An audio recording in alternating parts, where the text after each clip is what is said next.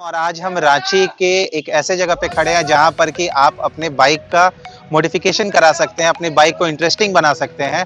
और आपको ज़्यादा दूर जाने की ज़रूरत नहीं है दोस्तों, ये जो जगह है, ये है रांची के मेन रोड के रोस्पा टावर के जस्ट पहले एक रास्ता जाता है अंदर में। वहीं पर ये शॉप है होंडा हाउस और उसके जो ओनर है वो मेरे साथ खड़े हुए हैं, जिनका नाम है राजू भाई। और बहुत बहुत स्वागत है आपका हमारे इस चैनल पर। एक छोटा सा वीडियो आपके साथ शूट करेंगे, जानेंगे कि क्या है, क्या कर सकते हैं यहाँ पे। तो दोस्तों बेसिकली अगर मैं छोटी छोटी बातें बता दूँ आपको तो जो सबसे अच्छी चीज़ यहाँ पे है कि अगर आप कोई भी स्पोर्ट्स बाइक खरीदते हैं, झारखंड में, रांची में तो सबसे ज़्यादा दिक्कत होती है उसके मोटो मोटर पार्ट्स की एसेसरीज की फलाना ढिमकाना बहुत सारी जो डाउट होती है जिसके कारण आप नहीं खरीद पाते बाइक को उसकी। लेकिन पैसा रहते हुए भी आप नहीं ले पाते। ये बहुत इंपॉर्टेंट पॉइंट बता रहे राजू भाई यहाँ पे।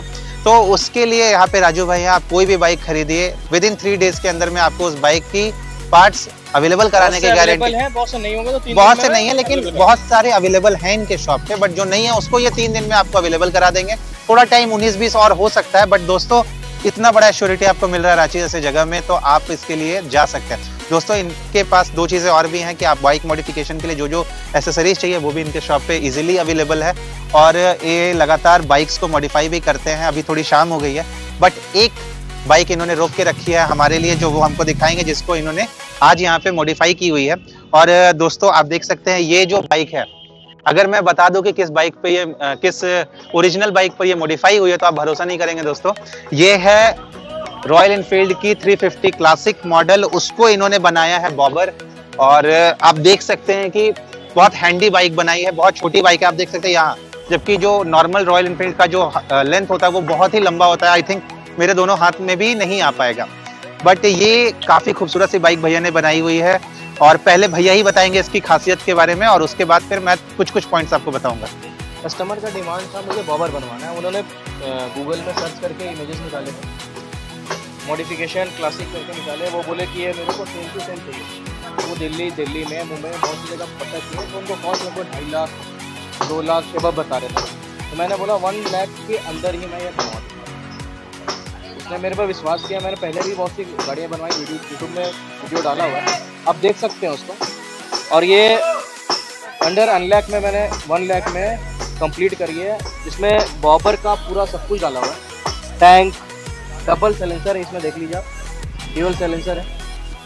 अगर टायर डाला हुआ है, सबसे फैट वाला। बहुत मोटा टायर है। इसके लिए सस्पेंशन पूरा कम्प्लीटली चेंज करना पड़ता है, ठीक है? आगे से पूरा सस्पेंशन चेंज हुआ। हार्ली का मॉडल आता है। वो मोटा सा उसको पूरा सॉकर सॉकर द्वारा पूरा कंप्लीट चेंज ठीक है? आगे से देख लीजिए। इसकी खासियत क्या है कि आगे का टायर, आगे का जो रिम है, वो बड़ा है और पीछे वाला छोटा है। तो दोस्तों, मैं कहूँगा कि भैया, एक बार इस गाड़ी को स्टार्ट करके इसकी जो हेडलाइट है, वो दिखाएँगे, जो डीआरएल इन्होंने लगाया है, वो दिखाएँगे। और मैं बोलूँगा कि थोड़ा सा सबसे पहले इसका स्पीडोमीटर आप देख ले, गाड़ी स्टार्ट होने के बाद। जो बहुत प्यारा सा है दोस्तों, काफ़ी छोटा है और काफ़ी अच्छा लुक देता है। और आप देख सकते हैं कुछ इस प्रकार का ये दिखता है यहाँ पर। और आगे में अगर आप देखेंगे तो इसका जो लाइट है, सबसे अट्रैक्टिव पार्ट इसका लाइट है, पूरी के पूरे एलईडी लाइट एलईडी लाइट के पैटर्न पे ये पूरी बाइक बनी हुई है। ये आप देख सकते हैं कि पूरा एकदम लाजवाब एलईडी भी यहाँ पर यूज़ किया है भैया ने। और जो नेक्स्ट चीज़ है इस गाड़ी की, वो है इसका साउंड तो उसके लिए मैं भैया को बोलूँगा कि इसको स्टार्ट करेंगे। काफ़ी दिन से खड़ी है दोस्तों, इसलिए ये जो यहाँ पे इसको किक के माध्यम से भैया स्टार्ट करेंगे। और यहाँ पे आप देख सकते हैं कि बाइक यहाँ से स्टार्ट होने वाली है अभी। तो दोस्तों, आवाज़ आप सुन सकते हैं यहाँ